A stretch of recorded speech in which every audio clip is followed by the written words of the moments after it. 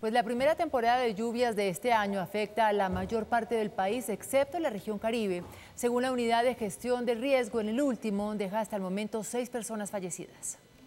Las zonas con mayores afectaciones por el invierno que vive el país, según la Unidad de Gestión del Riesgo, son Quindío, Bogotá, Caldas, Cundinamarca, Atlántico y Tolima. Las afectaciones han sido causadas por 49 vendavales, 21 deslizamientos, 15 inundaciones, 3 granizadas y 2 avalanchas, dejando hasta el momento 6 personas fallecidas, 3 de ellas en Tolima. Un árbol que estaba en riesgo cayó sobre su residencia y otra producto de la travesía en una motocicleta cuando precisamente cruzaba una avenida torrencial. Esto ha dejado una afectación de 1.440 familias.